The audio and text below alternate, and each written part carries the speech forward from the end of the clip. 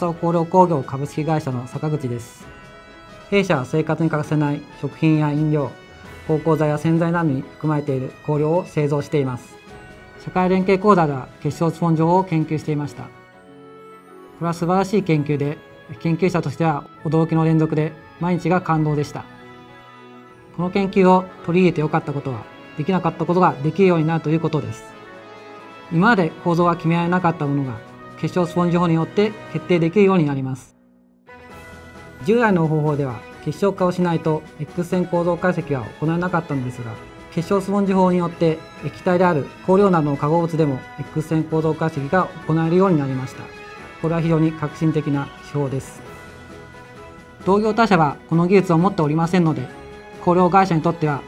オンリーワンの技術になりそれも非常に良かったと感じています。また11社の業者が参加していたので他業種の仲間ができました。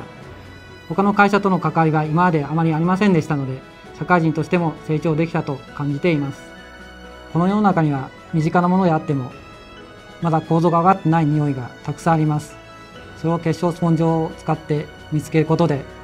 世の中をあっと言わせるような香りを見つけたいです。